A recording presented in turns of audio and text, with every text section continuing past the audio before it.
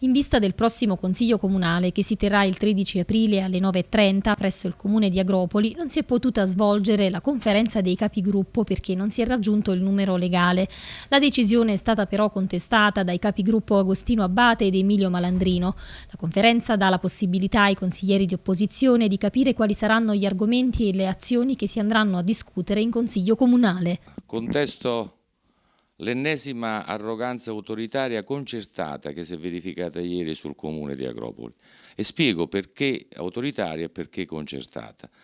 Eh, la conferenza dei, dei capigruppo è l'unica, e dico l'unica, possibilità che hanno i consiglieri di minoranza di poter dialogare con la Presidenza del Consiglio, di poter essere informati sugli argomenti che devono arrivare all'ordine del giorno del Consiglio Comunale o comunque su tutte le attività che il Consiglio Comunale sta per svolgere.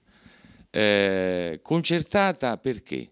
Perché questa conferenza dei capigruppi, quando io non ero appartenente a nessun gruppo, perché come consigliere, sindaco, no, come consigliere singolo non mi toccava la partecipazione a nessun gruppo, dice che veniva sempre convocata. Adesso che invece io appartengo al gruppo misto, sono il capogruppo del gruppo misto e il consigliere Emilio Malandrino è il capogruppo del gruppo UDC, viene convocata perché l'abbiamo espressamente richiesto, ma concertata perché gli altri capigruppi, e sono tre della maggioranza e l'altro della minoranza, non si presentano mai. Quindi è gioco facile per la Presidenza del Consiglio dire mancando il numero legale la conferenza non si tiene. No, assolutamente no. Ieri ho contestato perché poi ho sopportato fino a un certo punto.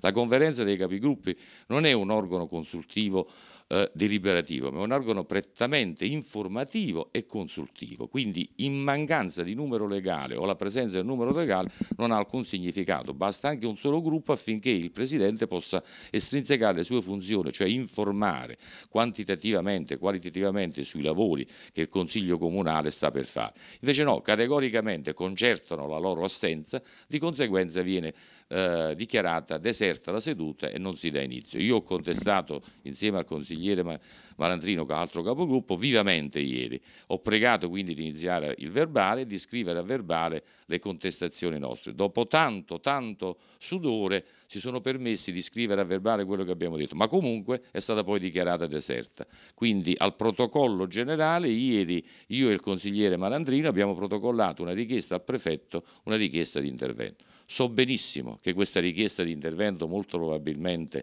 fatta al prefetto rimarrà sorda, rimarrà ancora una volta inascoltata, ma il mio dovere io lo faccio fino in fondo, così come l'ho fatto per quattro anni, lo continuerò ancora a fare per questo scorcio di consigliatura, augurandomi che il prefetto prima o poi legga oppure addirittura punisca me se ritiene che io sia colpevole di aver esagerato. Faccia una decisione, insomma, comunque anche il prefetto deve avere una sua responsabilità. Secondo lei per quale motivo gli altri capigruppo non si presentano alla conferenza?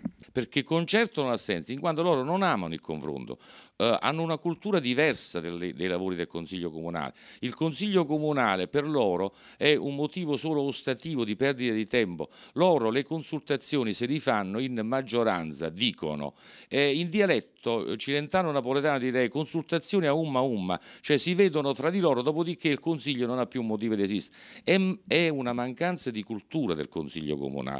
L'ho detto più volte e lo voglio ripetere se me ne dai la possibilità. Il Consiglio Comunale è una testa dell'amministrazione.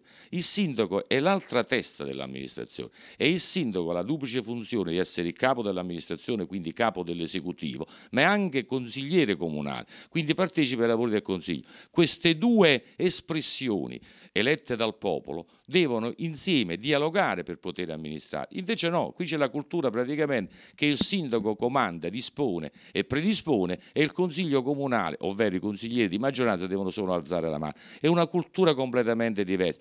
Eh, è una cultura che ho combattuto per quattro anni da solo e che adesso sto combattendo per l'ultimo anno insieme ai consiglieri Rizzo e Manadino, ma non abbandonerò mai. Io darò anche la vita per combattere questa cultura sbagliata. Per questa mia bella città lo farò comunque con tanto, tanto amore e tanta passione ancora per questo scorcio di tempo che mi rimane essere consigliere comunale.